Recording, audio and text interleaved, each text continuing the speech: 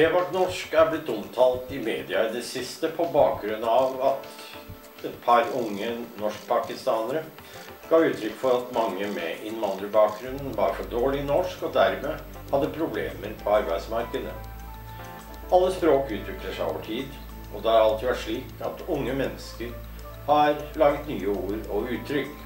Denne tendensen kan være et uttrykk for språklig overskudd, der unge mennesker som generelt har gode språkkunnskaper, eksperimenterer med språket. Hvis kebab norsk hadde vært et uttrykk for et slikt overskuddsfenomen, ville det ikke vært grunn til bekymring.